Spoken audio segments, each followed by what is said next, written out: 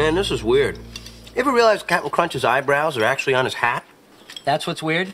Joey, the man's been captain of a cereal for the last 40 years. Oh, look. What? The spoon.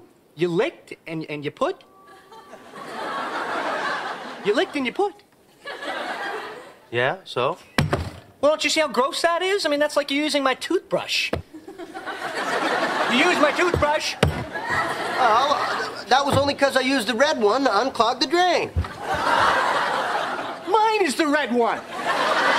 Oh, God. Can open, worms everywhere.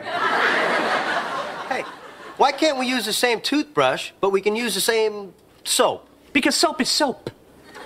It's self cleaning. All right, well, next time you take a shower, think about the last thing I wash and the first thing you wash.